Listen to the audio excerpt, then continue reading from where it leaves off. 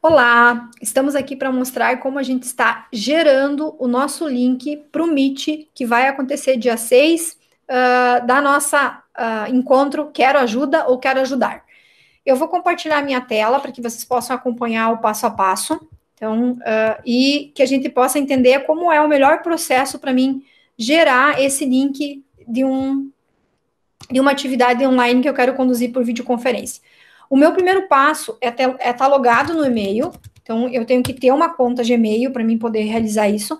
Nesse caso, como eu estou usando o Meet, essa conta necessariamente precisa ser uma conta institucional.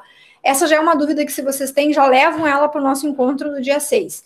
A partir do momento que eu já estou logada com a minha conta, eu vou acessar a minha agenda e dentro da agenda eu vou criar um compromisso para a data que eu quero uh, executar esse, essa videoconferência. Então, aqui para ficar mais fácil, só para a gente entender o contexto, eu tenho o mês todo. Essa conferência vai ser no dia 6, essa nossa videoconferência.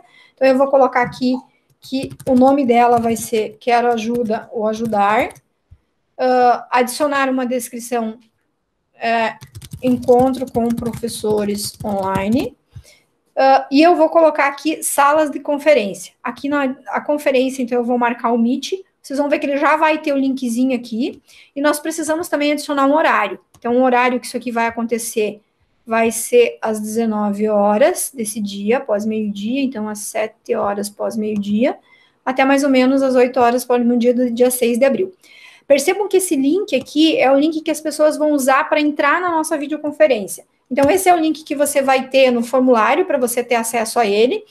E a gente, para acessar ele, você simplesmente no dia vai abrir uma nova janela, colar o link e vai ter acesso à, à interface para você poder começar a interagir conosco. Então, eu espero vocês para nós estarmos trocando informações no dia 6.